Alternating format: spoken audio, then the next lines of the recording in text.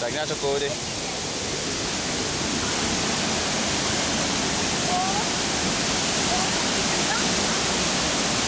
Cô đi dép.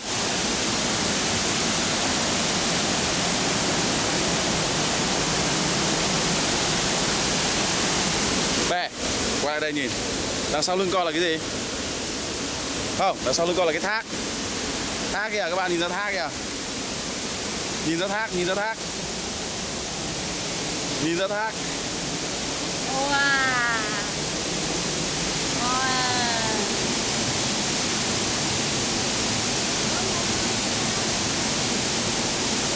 Ở đây là quả để chụp đẹp.